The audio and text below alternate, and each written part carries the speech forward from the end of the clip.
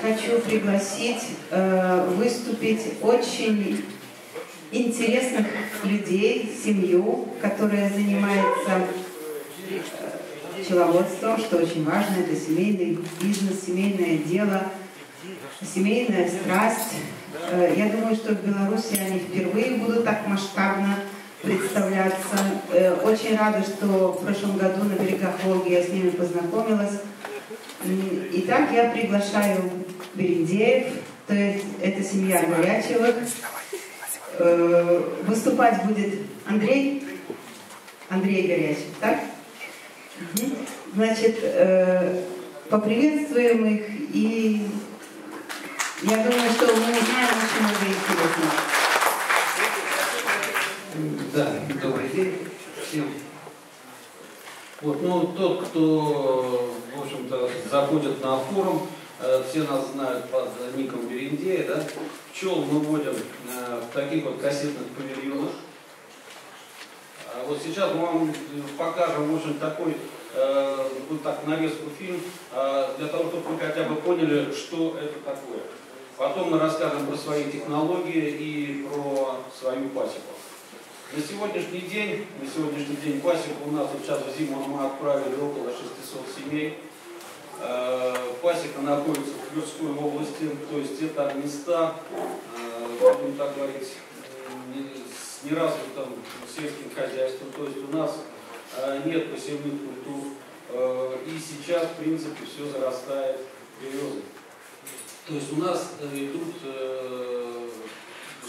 только стихоросов мед идет только дикородства. Ну, вообще мы подходим к пчеловодству, как-то, наверное, неправильно мы... Так, то есть я давайте начну так, что сейчас идет фильм, я буду рассказывать про э, павильон. Да, это основная э, позиция, на которой, в общем-то, мы делаем. То есть пчелы зимуют, вот, э, находятся вот в таких павильонах, павильоны утепленные, то есть они павильон, это, в принципе, термос, термос, да, где поддерживается определенная температура. То есть пчелы зимуют в этом павильоне, вот этот павильон на 48 семей, а, то есть поддерживают определенную температуру, и, в принципе, общем-то, это положительно сказывается на их жизнедеятельности. То есть вот у нас первая операция, которая проходит после зимовки, это чистка домика. Вот видите у нас, да? Это у нас не бывает вечный, то есть э, в всегда сухо. Вот подмор, там мы э, чистим э, доме, да? Вот пчелы вышли из зимовки, облетелись, и после облета мы, э, одна из первых операций, это чистка домика. Я скажу, что на пасеке работает, в принципе, э, один пчеловод с помощником. То есть они э, успевают, ну, обеспечивать весь процесс работы. На сегодняшний день пасекой в основном уже практически занимается сын, ну и, в общем-то, я его помощник. На откачку меда мы, естественно, приглашаем людей, потому что откачка это будет такой отдельный процесс. И здесь тоже будет видно. То есть в основном все операции, все операции проходят без контакта с пчелой. То есть мы делаем технологии такие, что ни мы пчел не беспокоим, ни нас пчелы не беспокоят. Э, порода пчел, которую мы используем, это кармика, немецкая селекция, э, маток, исходный материал мы берем от Рауша, тоже, наверное, знаете, да? Вот, и впоследствии выводим своих маток, как говорится, происходит далее. То есть здесь вот проходит такой, мы показали, показывали цикл работ, который проходит на пасеке. Э, то есть сейчас уже вот э, ранняя весна, э, поступают первые взятки сылы, первые взятки сылы, и мы уже подставляем то есть, на развитие семей. И Э, поставляем уже медовые корпуса для получения, для получения майского меда. Это одна из основных продукций, э, которые мы получаем э, у себя в Тверской области. То есть еще даже на юге не пчеловоды не успевают получить мед, мы уже в июне месяце, в начале июня мы производим первую качку меда, первую качку майского меда, который э, очень, в принципе, востребован. То есть вот видно, он ставит, то есть ставится разделительная решетка, э, ставится медовый корпус. Этот медовый корпус состоит обычно 4 рамки вощины, 4 рамки суши. Технология работы в павильоне мы вообще э, поставили перед собой задачу не просто получения меда там, или обычно какого-то другого пчелопродукта, а мы поставили себе задачу э, получения дохода с пасеки. То есть доход с одного павильона должен составлять не менее полумиллиона рублей. Вот, в принципе, ставится такая задача. Э, в момент э, весеннего, будем так говорить, весенней работы, э, мы ставим также донные кольцесборники, то есть собственные конструкции, которые позволяют нам собирать немаловажный, как говорится, достойный продукт, это пыльцы, который очень востребован. Ну, так как у нас семейная пасека, здесь участвуют и внуки, то есть все идет. Они тоже с удовольствием принимают участие в этих работах. Пасека состоит вот на сегодняшний день из 11 павильонов. В этом году мы запускаем еще 6 павильонов, то есть задачу, задачу поставить вот на этом так говорить, тачке, да, э, поставить тысячу семей и дальше в дальнейшем масштабироваться уже в другом районе. То есть вот такие, в общем-то, у нас планы. Также мы э, производим эти павильоны и на продажу. Сейчас у нас э, существует проект э, «Пасека под ключ». То есть мы э, берем э, курирующие проекты, э, где ну, основа пчеловодства является также вот этот инструмент э, наш павильон и ну, то есть производим обучение людей, э, поставку павильонов, поставку пчел, то есть организацию полностью пчеловодных промышленных пасек. Э, такие пасеки у нас сейчас существуют пять проектов. Это э, Тюмень, Смоленске, такая пасека будет в Владимире, Э, в Екатеринбурге. Вот. Э, то есть э, люди, те, которые хотят заниматься, в основном это люди, которые, будем так говорить, имеют большую, большое количество земли, большое количество земли, либо приобрели ее, либо э, они занимаются там сельским хозяйством и параллельно своим хозяйством хотят пользоваться еще и пасекой дополнительно получать такой дополнительный доход. Э, вот. Ну, здесь вот фотографии, то есть как мы работаем. В общем, павильоны позволяют получать практически все виды пчелопродуктов. То есть мы видно здесь, что здесь мы также выращиваем маточники для получения маток и маточного молочка. Это наш, э, будем так говорить, нуклеусный парк а для облета маток, облетный пункт. То есть э, это пенал, то есть, опять же, он вставляется в кассету, да, и в кассете, опять же, не вынимая кассету, не вынимая, не тревожа пчел, мы таким вот образом можем э, доставать и, как говорится, ставить э, маточники на выращивание семьи. Дальше маточники идут в семью воспитательницу, либо в инкубатор и после инкубатора на облетный немаловажная э, часть прибыли – это э, получение отводков или пакетов. То есть каким образом мы делаем? То есть у нас зимуют в стояке две семьи. После постановки медовых корпусов э, и в начале мая, то есть где-то 5 числа, 5 мая мы начинаем делать пакеты. Пакеты мы берем с верхних корпусов, то есть из стояка один пакет. Э, хвосты с, верхнего, с верхней семьи через разделительную решетку мы ставим вниз и ставим сверху еще медовые корпуса. Тем, тем самым делаем такой медовый медовик. То есть мы продали пакет, сделали медовик и, естественно, параллельно еще получаем пыльцу. Э, где-то числа 25 мая, когда наступает уже везде роевой период, роевой период, э, мы нижнюю семью убираем, у нас остается хвост от верхней семьи, то есть практически готовый отводок. Туда мы подсаживаем молодую матку, а нижнюю семью убираем наверх, на противоположную сторону. Также ее делим, получая отводок, либо продавая пакет, либо э, впоследствии под замену матки.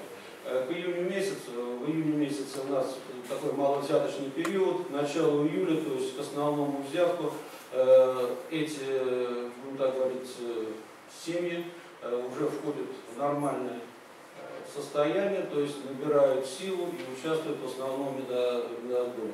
Вот, в принципе, весь технологический процесс, который мы используем на сегодняшний день. В этом году, правда, мы попробовали технологию содержания э, пчел на одной кассете, на восьми рамках. То есть на восьми э, рутовских рамках э, мы содержим э, гнездо, полностью гнездо. Но это возможно только при том, что если мы устанавливаем пыльцесборник. То есть пчела не успевает забивать э, пыльцой э, рамки тогда, в принципе, матки хватает для развития и, в общем-то, не происходит ни роевого состояния, то есть э, у нас без роевого содержания пчел, э, с пасеки максимально, что мы, э, у нас улетает, ну, 2-3, как говорится, роя, ну, это погрешность, я думаю, что вполне закономерно. Вот таким образом мы отбираем Э, отбираем мед, скорость отбора меда, то есть мы где-то в течение часа отбираем около тонны вдвоем. Да, это отбор, будет показан отбор майского меда. Э, ну, это вот сейчас будет э, перед главным взятком. То есть я вам сказал технологию, то есть мы поменяли маток, получили майский мед, получили пакет, получили пакет, и вот сейчас у нас павильон, будем так говорить, перед главным взятком. Это то есть июнь месяц. То есть вы видите, вот начинается цветать кипрей. То есть это в нашей зоне основной недосбор, э, недонос Вот состояние вот семьи. То есть семьи, э, гнездовая часть плотно обсижена и сверху две медовые кассеты.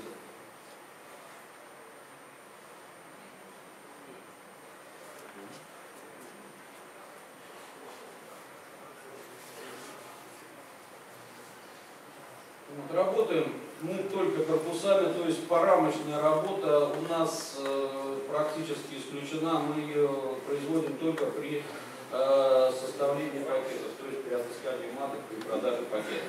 Остальные все операции происходят кассетами.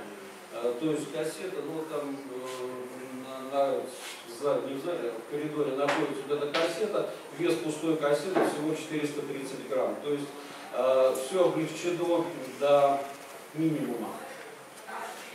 То есть физические нагрузки мы практически не И операция, э, все операции, технологии сделаны таким образом, что в принципе э, человек, не имеющий понятия вообще в пчеловодстве, как говорится, показав ему эту операцию, он делает это на всем павильоне.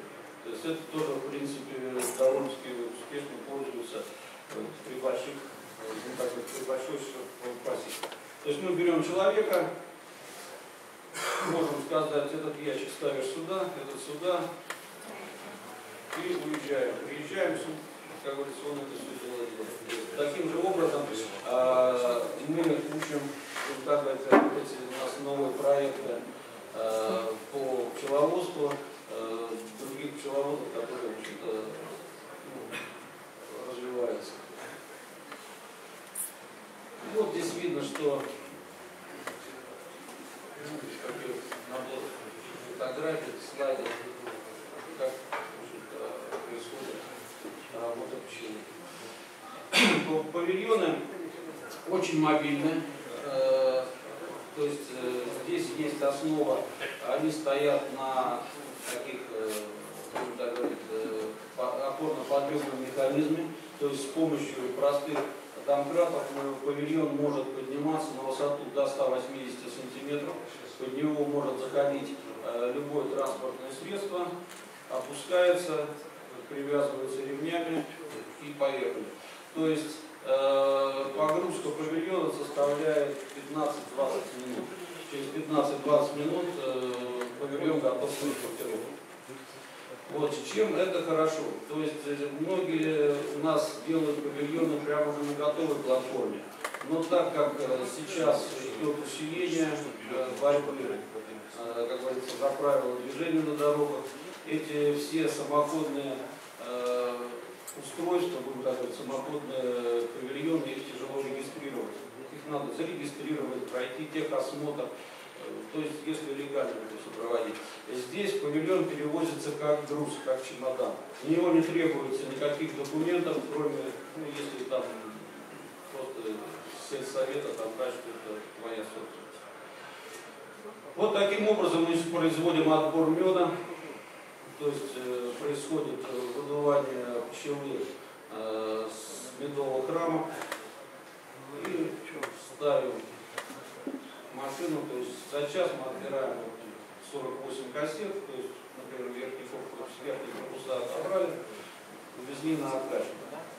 Откачка у нас э, тоже стоит на таких же опорных устройствах, то есть она имеет э, тоже транспорт, э, может ну, мобильно быть. То есть мы ее можем перевозить. Сначала была задумка перевозить каждому павильону, но потом решили э, просто делать центр какой-то, ну, чтобы логистика была не дали 10 километров подвоза э, рамок. То есть мы отобрали, 10 километров привезли и откачали мед. Э, в откачке стоит финское оборудование и производительность откачки, производительность откачки у нас где-то 800 тонн на смену. Два человека.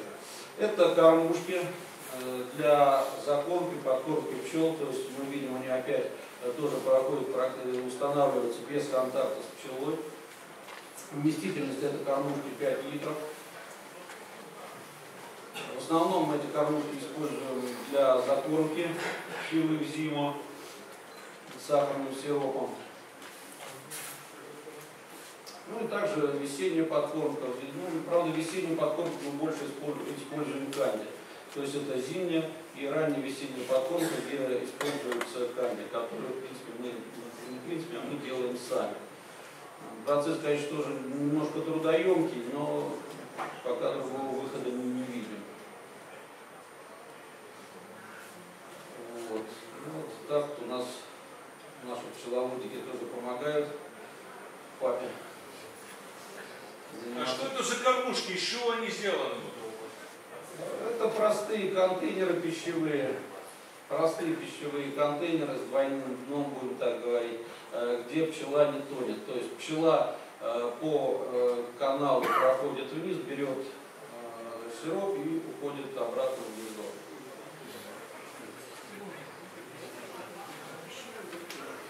То есть это довольно удобно, это у нас уже второй вид кормушки, второй образец. Э, поначалу у нас было использована немножко другая тара, но вот, в общем-то довольно-таки удобно. Вот это вот это удобнее, чем ее хорошо хранить, то есть она оставляется, эти ведра вставляются друг в друга, то есть занимают мало места, их э, удобно мыть, их удобно мыть. Вот. Ну вот мы остановились вот на, на таких вот, вот павильон, готов к закормке. То есть это уже сентябрь месяц, начало сентября. Э, мы каждый павильон э, даем закормку зиму где-то около 15 литров сахарного сиропа. Сахарный сироп пчела складывает практически в непосредственной близости гнезда. И первое, что они, как говорится, зимой потребляют, это вот этот сахарный сироп. Почему мы даем сахарный сироп, независимо от того, что есть мозг мед?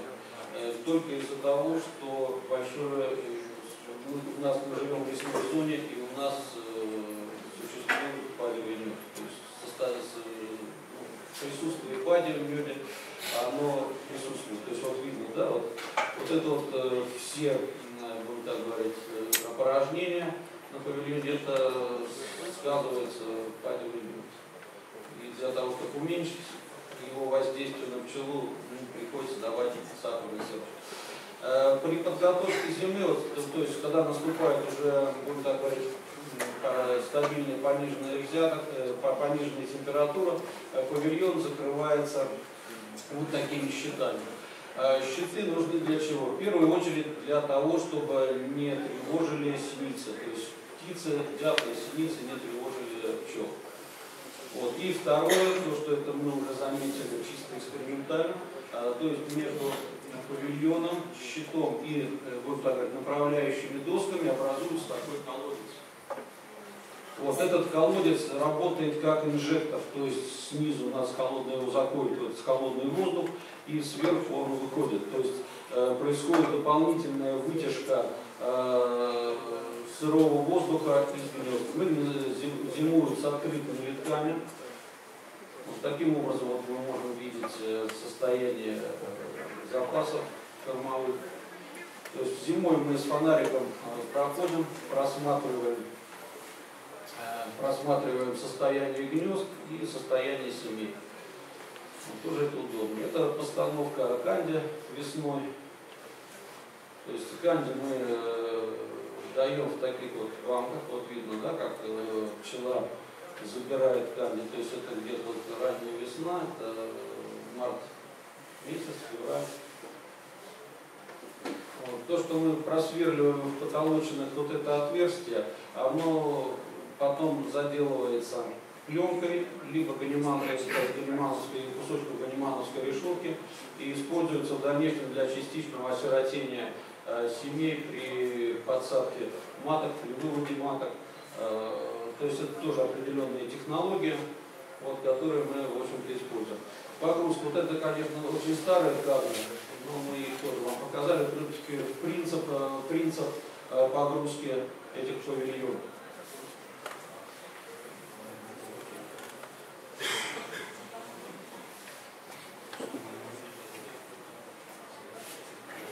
То есть тоже, в принципе, незаменимый, э, то есть не, не нужно квалифицированного труда, то есть не, не привлекается э, подъема транспортные какие-то оборудования, а простые домкраты, которые можно приобрести в любом автомобильном магазине. В течение 20 минут все это грузится на автомобиль и поехал.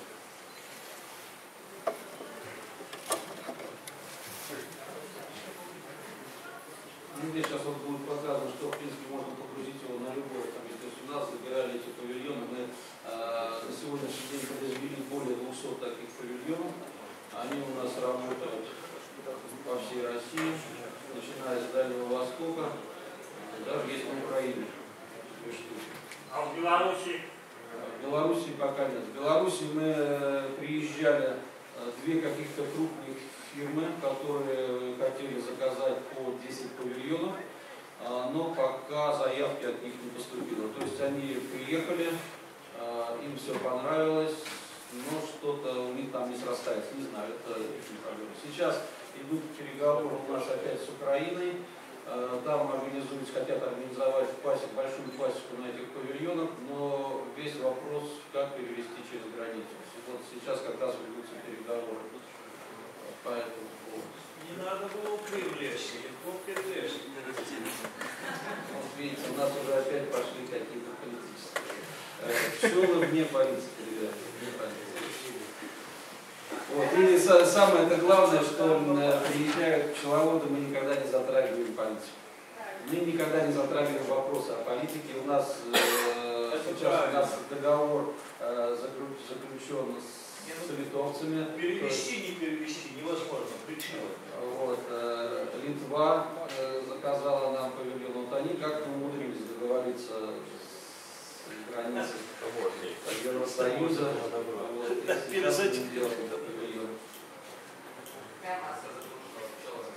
Что? Ну, на, в основном мы выпускали на 48 семей с пчелами транспортируется ну, где-то 3,5-4 тонны. Пустая, пустая. Вот этот вот павильон ушел в Тюмень вместе с пчелами. А, и вот мы его засебили пакетами, отправили его в Тюмень, и в Тюмени он получил э, с этих э, пакетов около 3 тонн меда. Таким вот мы перевозим вот таким образом, то есть на простой телеге. Вот, кстати, павильон, который ушел на Украину, это было уже 7 лет назад. Сейчас они сделали э, по подобию э, еще два таких павильона и, в общем-то, успешно работают в. Можно перевозить на КАМАЗах. Э, погрузочная высота павильона разрешенная, то есть рассчитана так, что разрешается для перевозки по федеральным трассам России. Ну, я думаю, что и Беларуси тоже.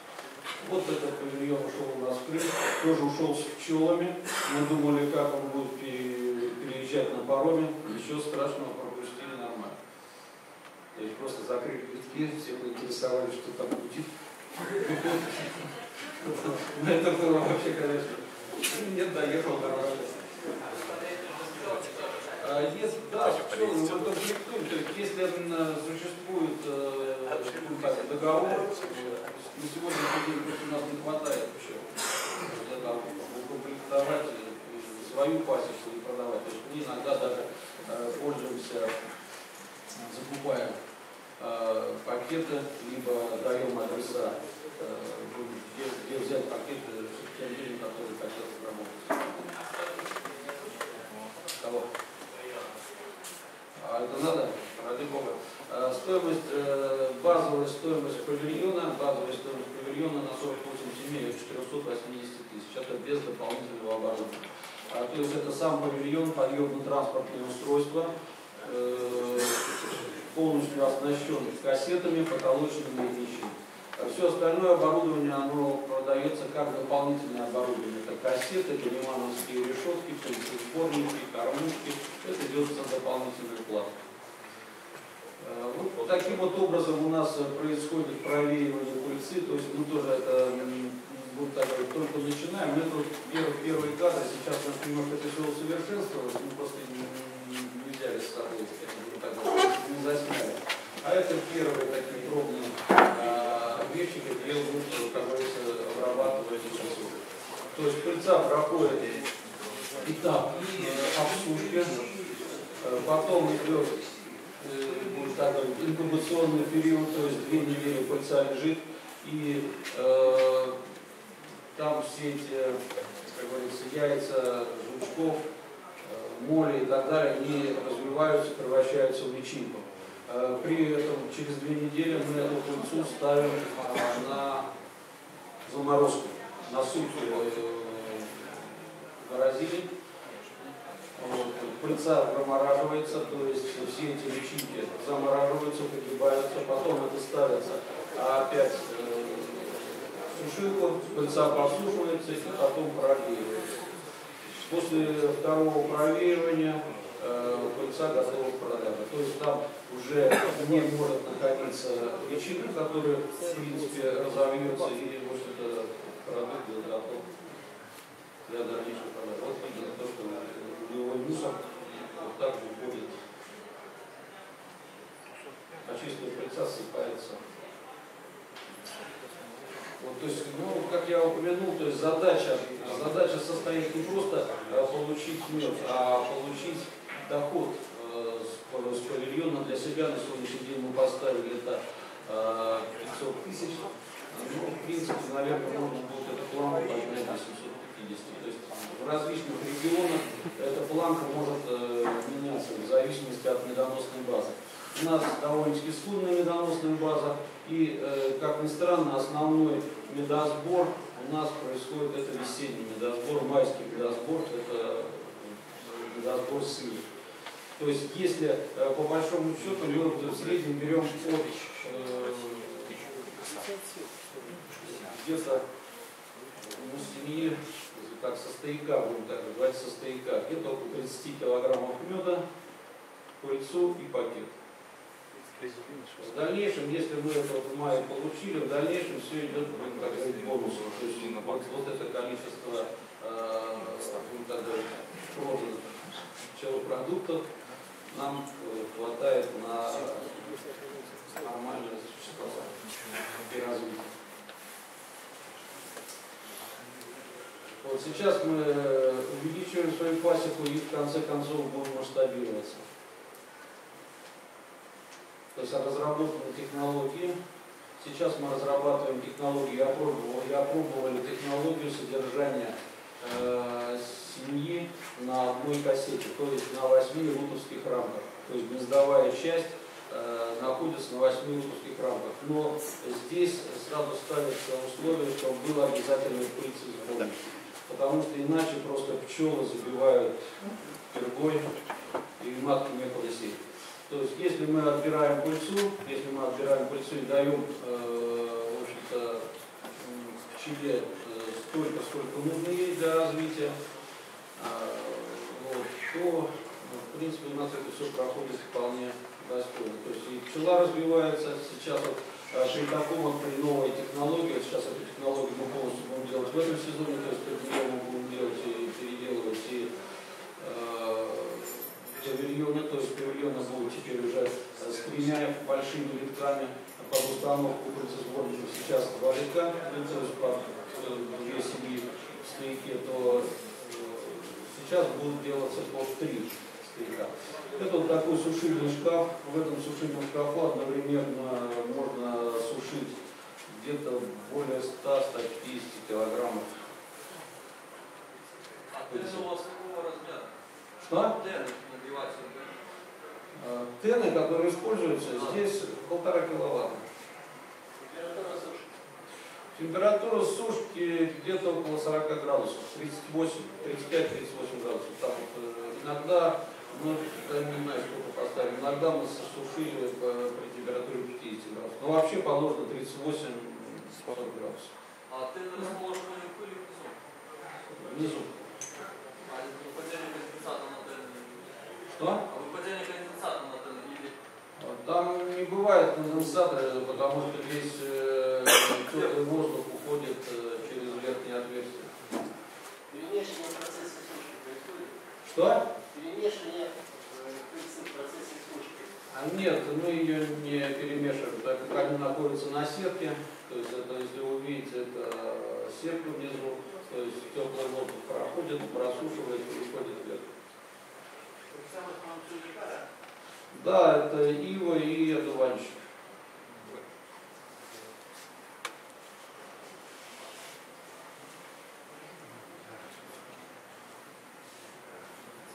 Вот, э, немалый доход, в общем-то, принес это руководство. То есть мы тоже занимаемся, э, вот так говорить, производством маток, то есть видите, у нас мы при 49 сушили. Но вообще положено сушить не более 40 градусов. То есть, ну это опять кадры, будем так говорить, э, сейчас это одни из первых кадров, то есть мы не снимаем каждый день, это таких пробных любительских кадров, то есть мы не снимаем постановки, э, как мы работаем, как мы показываем. Вот. Что еще можно сказать? Так, ну да, да, теперь давайте мы расскажем вам про организацию, ну, фильм пускай показывают, но Антон будет показывать, про организацию пасеки. Э, То есть на пасеке у нас работают, ну, в общем-то, чисто пчеловодством занимается сын, ну, я, я, э, вот и вдвоем чисто пчеловодством занимаются. Также у нас Э, есть люди, которые занимаются строительством павильонов, это в основном зимний период. И на, мы их также привлекаем еще на скачку. Это тоже там 2-3 человека. Это происходит э, э, очистка рамок, очистка рамок э, акустической содой. То есть рамки очень быстро э, дезинфицируются, очищаются от воска и также э, ото всех остатков пчеловодов. То есть мы видим, что рамки довольно-таки чистые, которые впоследствии э, обсушиваются, то есть сохнут и поступают опять на работу. павильон. Нет, там же стоит второй, который, второй, э, будем так говорить, емкость, где промывается живот. Вот, пчелы, в общем-то, нет разницы. Э, Пчела идет э, что на такую рамку, что на новую рамку идет одинаково. То есть мы не видели, не замечали разницы, чтобы пчела не шла на вот рамки после обработки вот таким продуктом. То есть существует вот такая кассета, да, металлическая, куда складывается, вот видите, да, здесь даже и опоношенные рамки есть, все это закладывается. В такую кассету зажимается и... Не пробовали Что? Понимаете, мы сторонники, мы лодыри, мы не делаем лишней работы. Это же проще. Согласитесь. Зачем огнем обжигать? Ну это не быстро, это не быстро. Это вам так кажется. Вот видите, он пришел, поставил, стоит, покурите, когда нужно обжигать. Вот он ее сейчас немножко прополоскает и высадит. А там это он сразу заложил 12 рамок. Вот. 12 рамок он сделал за 2 минуты. Вы за, обожгете за 2 минуты и дочисто вы выскребите все. Потому что не просто же надо обжечь, а еще обскоблите ее. Так что все это трудоемко. То есть все процессы мы предусматриваем, э, чтобы как можно меньше э, было затрат, трудовых затрат. Вот, в чистой воде это все, ну, она уже не чистая, но, в общем-то, периодически это меняется, споласкивается. Потом насушивается и поступает, в общем-то, обратно.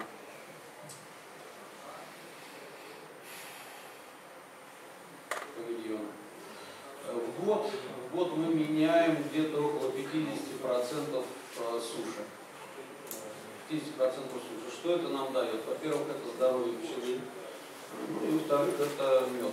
Э, Правда, на сегодняшний день э, мы не видим ну, так, достойных ну, так, прессов, воскопрессов или э, другого оборудования, которое бы мы могли применить. И мы, в общем, сейчас пока работаем по старой технологии дедовской, а вот, то есть развариваем сырье, потом это всплывшее сырье мы э, отжимаем. В общем-то, это трудно, и очень много в этом сырье остается э, воска, но пока у нас вот такая штука. И, в общем-то, ездя по таким форумам, по встречам, э, мы пытаемся что-то найти, какие-то хотя бы небольшие крупицы, которые мы могли бы использовать у себя на пасеке. Также мы делимся своим опытом, э, как мы вводим пчел.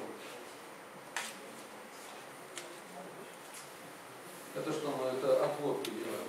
Да, то существует в этом году, мы, не только в этом году, а мы пробовали делать отводки боевые. Что это такое? Это брали 5 рамок расплода, а, э, одну кормовую и, в общем-то, формировали это павильон. С такого отводка мы получили э, две кассеты меда в среднем, в каждой кассете по 30 килограмм товарного меда, ну и зиму, как говорится, пчела, которая идет в зиму. То есть вот такие отводки были. То есть э, павильон э, за- счет сохранения тепла э, имеет э, хорошее быстрое весеннее развитие пчелы. То есть пчела у нас э, развивается гораздо быстрее, чем э, в отдельно стоящих ульях. Э, Здесь, правда, у нас нет фильма, где мы сделали такую сравнительную сравнение, как идет развитие в павильоне и развитие в отдельно стоящих ульях. То есть мы начинали э, тоже свое пчеловождение э, в отдельно стоящих ульях, попробовали все виды ульев, начиная там Дадан, Вержак, многокорпусная система, остановились вот на многокорпусной системе с размером с луковской рамкой. И потом, м, в общем-то, перешли на конструкцию павильонного типа. В общем, таких вот павильонов. Первый павильон у нас был вообще на 7 рамок, а кассеты сейчас вот 8-рамочные кассеты. Вот. Ну вот Антон сейчас просто показывает, это мы уже показывали, нам задавали вопросы, и мы с ними, в принципе, ведем свой видеоканал в Ютубе. И у нас более 300 роликов, где мы показываем, как мы, принципе, работаем на своей пасеке. Что? Это, ну, это создание э, отводков, то есть э, из семьи, из семьи забирается э, часть расплода, и этот отводок уходит у нас на давно. Это такой, будем так говорить, это импровизация. Обычно мы этим не занимаемся, это, дает есть было свободное время, был свободный павильон, мы решили это сделать. Также мы делаем сборные отводки. Э, Сейчас в этом году э, вот эти сборные отводки, они у нас ушли в зиму, то есть мы делали 28 июля, э, туда посадили гаунских маток и довольно-таки э, серьезные вот эти отводки уш- ушли в зиму для весенней продажи. Будет, вот э, сейчас я говорил, то, что будет содержание э, пчелы на одной кассете, вот как раз вот эти э, отводки, то есть в старике мы поселили три на вот этих вот августовских отводка.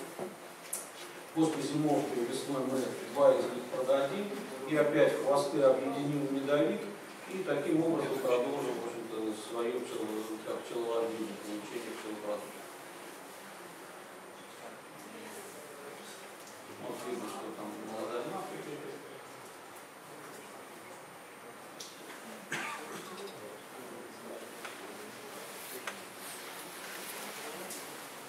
А, м, Пасек у нас сейчас на сегодняшний день у нас 11 павильонов. Павильоны находятся друг от друга на расстоянии там 4-5 километров.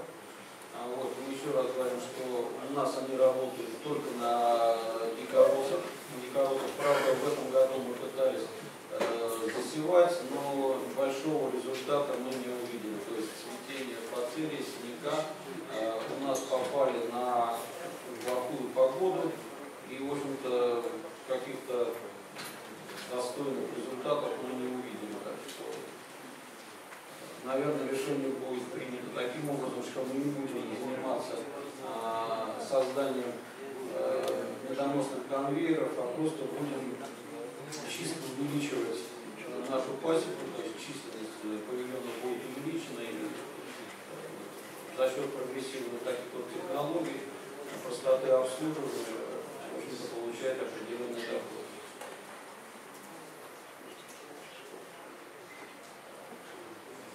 Вот. У нас тут многоточковые пчеловозы, то есть мы периодически, э, у нас есть возможность перевозить павильон, то есть мы сказали, что эти павильоны мобильны, то есть э, мы, у нас вот именно многоточковое э, пчеловодство, А, но вообще на юге э, пчеловоды, которые используют эти павильоны, они кочуют, кочевки там до тысячи километров. Вот. На Дальнем Востоке в этом году вот он у нас в прошлом сезоне купил павильон, и уже в этом сезоне он э, получил с него, м, то есть они перезимовали, то есть за счет павильона, за счет павильона у него э, они очень хорошо перезимовали, потому что в районе э, Дальнего Востока было температура минус 50, он сказал более двух недель. А вот пчелы выдержали, за счет павильона очень быстро раскрутились, и он достойно сработал на клипе. Вот, э, то есть у него, э, как он говорит, приехали на Липу, то есть мы поддерживаем связь со всеми своими покупателями, а вот, э, общение, они делятся информацией, то есть это тоже у нас некоторые есть кадры в Ютубе. Приехал на Липу, встал на Липу, Липа в этом районе ничего не давала. За 100 километров ему позвонили, говорят, дают Липа, он тут за 20 минут собрался, нанял машину, то есть просто эвакуатор, простой эвакуатор загрузился, уехал и получил павильон по 40 килограммов на семью липовую. То есть вот э, это говорит, в общем-то, о мобильности э, вот таких вот, сказать, такого оборудования. еще вам рассказать?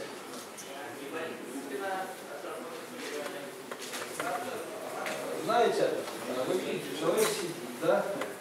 Вот, э, если вы заметили, как мед э, снимаем, мы тоже как бы взяли, все, все время мы ногах, то есть э, переноска таких тяжестей общем-то, нам позволяет работать. Если вы заметили, э, павильон устанавливается на высоту, то есть когда я поднимаю, поднимаю, я, допустим, я ставлю на пол, а Антон э, поднимает с пола, то есть павильон стоит тоже на той высоте, где ему не надо эту кассету поднимать. Он ее просто прислоняет к себе, несет на стол, выбывает и ставит ее в машину. Вот. Так как нам не приходится это все далеко носить, максимум там 3 метра, то есть, так что ну, физической нагрузки, конечно, минимальной. А что ломается?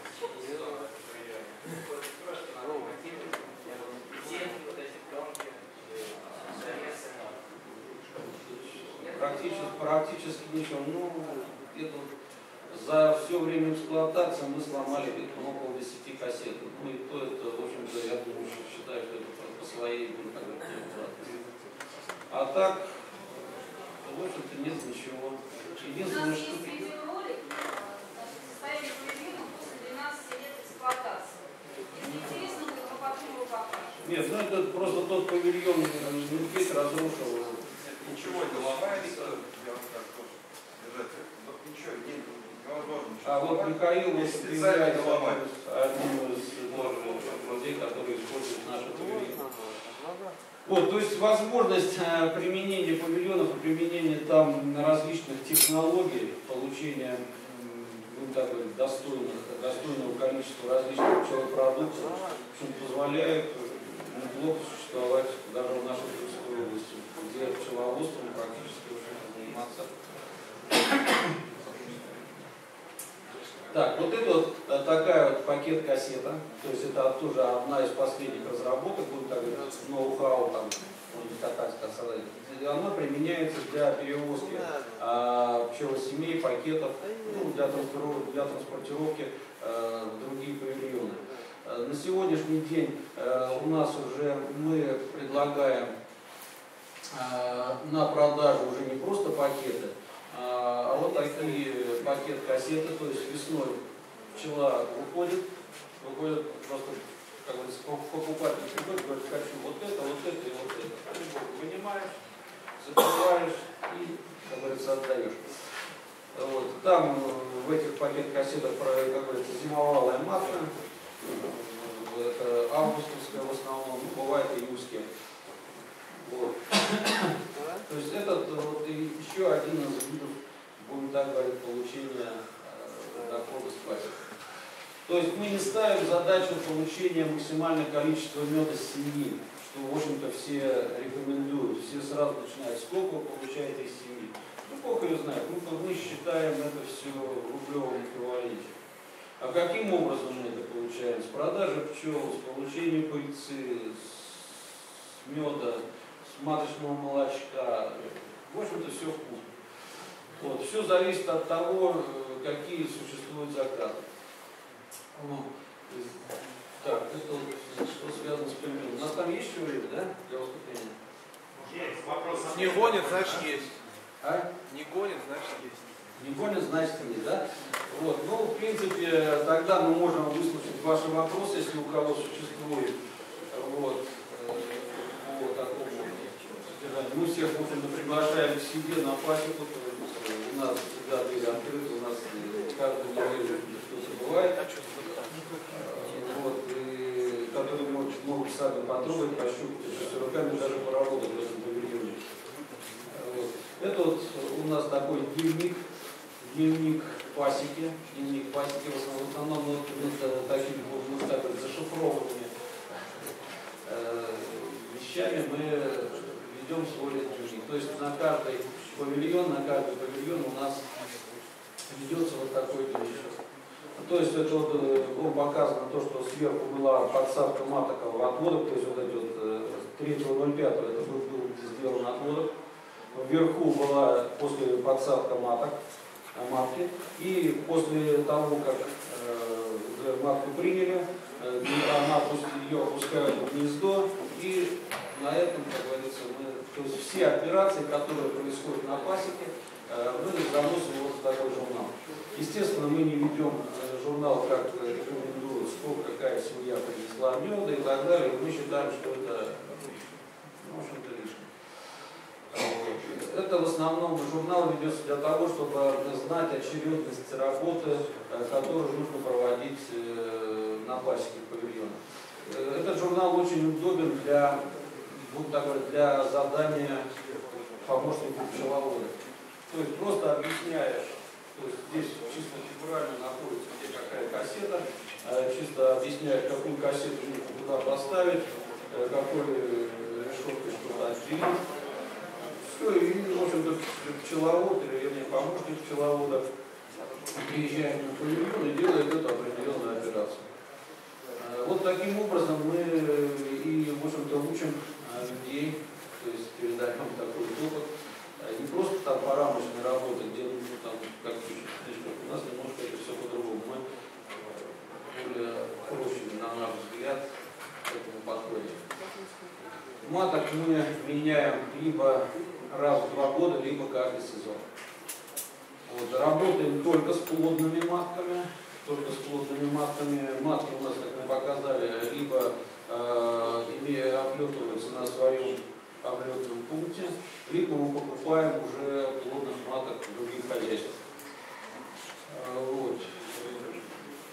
Ну, мы считаем так, что пчела это, в общем, как в армии, да, есть войска, которые ведут, как говорится, бои, а есть тыловые вещи. И э, применять, э, делать, э, если существуют технологии, то есть э, облет матки в основной семье, мы считаем это нерациональным, потому что теряется ну, практически 2-3 недели, теряются расплоды развития семьи для того, чтобы нужно облететься матки. И также это, общем-то, трудоемко. То есть нужно подставить. Это что-то у нас такое непонятно, что это. А? А, это производство канди, да? Ну, давайте покажем, как мы производим канди. Ну, канди все знают, что это такое, да? Это сахарная пудра, туда добавляется мед. Мед мы добавляем только свой, э, так что боимся э, ну, занести какие-то хорошие вещи себе на пасеку.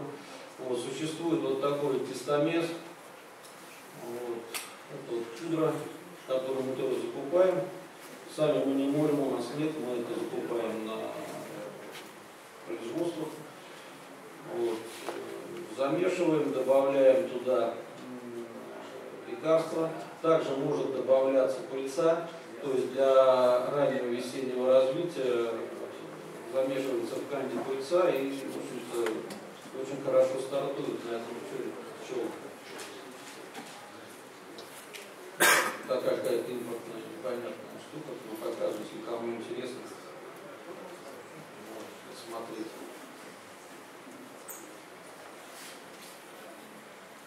Ну, как устанавливать, там был ролик, как мы это все устанавливаем.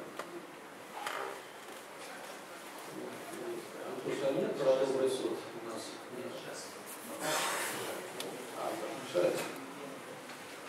Вот, правда, мы были здесь, в Казахстане, э, там тоже пчеловод, там, находится 500 семей, он использует какую-то технологию, которая производится где-то здесь у нас, вот, надо как раз в Чехии, спросить, что это такое. То есть туда просто добавляется, то есть берется сахар, даже не сахарная пудра, сахар, а потом идет нагрев, добавляется какое-то количество воды и выходит уже готовый камень. То есть у него есть такой видеоролик, мы как не могли подсмотреть, что это за оборудование, мы так и не могли понять. Ну, как вы поняли, это создание... Лысонь фирма производит. А? Лысонь Лысонь такой? Ше- У Шенделя, такой. э, в Полоцке у Шенделя есть. А? Шендель производится. Производит. Ну, сам Канди, у него стоит оборудование, вот это он делает. Не видел, надо будет. Это просто делать. Мешалка, мед, сахар, размешивать. При температуре 14 градусов идет размешивать. Получается такая смесь кремообразная. У вас видео.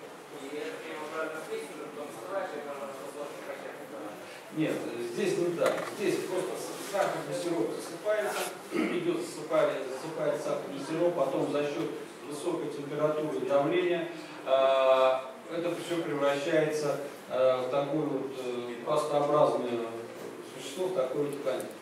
Все. Больше ничего там не делается. То есть вот это проходит. То есть это идет непосредственный поток. То есть это, я не знаю, я как понимаю, что э, это какое-то оборудование для производства помады. Нет, там просто идет именно что-то с температурой. Сказал, ну ладно, это мы не знаем, что это такое. То есть э, вот я это увидел у этого пчеловода, вот сейчас мы хотим приобрести такую штуку. Э, вот, ну не знаю, вот, наверное, найдем, приобретем. В конце концов, к нему съездим домой. Нас приглашал в гости. Э, Посмотрим. Вот, одним из таких э, продуктов, э, который еще, в общем-то, дает неплохой доход в пасеке, это секционный сотовый мед. Вот мы здесь видели, Михаил представляет панский сот. Э, Вы, может быть, слышали э, добрый сот такой. Э, Мы его уже сделали, наверное, лет 15 назад, то есть в 2000, да, не, 2010, 2007 года Вот. Э, То есть он имеет э, хорошую продаваемость и хорошую цену. То есть оптом у нас его покупали по 650 рублей килограмм. У нас был договор, распространяли мы его э, через, продавали через Ашаны. Ашан продавал в день более 700 килограмм такого дня.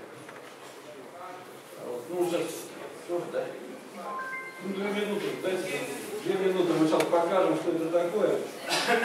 Вот, и. Ну, я давайте ответим на ваши вопросы, я просто не буду делать. Кому будет интересно, или кому еще интересно, мы здесь, мы доступны, мы от вас не прячем, что вы хотите. Ну ладно, все тогда. Один вопрос. Да. Что он будет шаг 14 получается, да? Да. Доставляется он заглушка какая-то? А, Он идет уже в упаковке, то есть это готовая упаковка. Он продается как штучный товар, не на вес, как штучный товар. Да, как штучный товар. И, ну, вот это основная продажа была через Ашана, но также мы продавали через другие сети, через магазин. Вот, э, в общем, довольно достойный, в общем-то, товар, который дает приличный доход.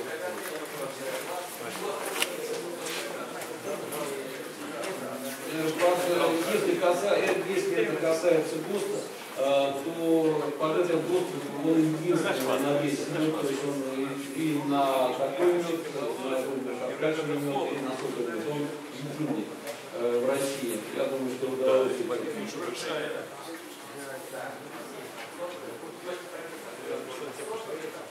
Но ГОСТ он один. Все, спасибо за внимание.